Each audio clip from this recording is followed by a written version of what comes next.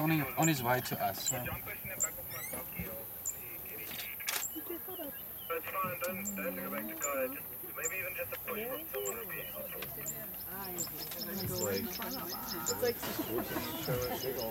Ooh, what's the what's the oh, rhino call? Oh,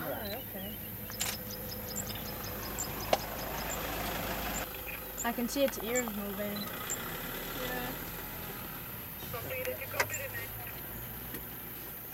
Okay, yeah, so this is what's known as your southern white rhino.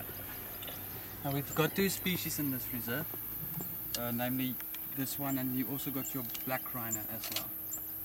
Uh, there's lots of lots of physical differences between the black rhino and Don't rhinos.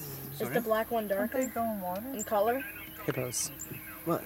Hippos. hippos does go in water. Not rhinos? Rhinos often you find them sleeping in water, but not in deep water. It will be quite shallow water or a mud pool or anything like that.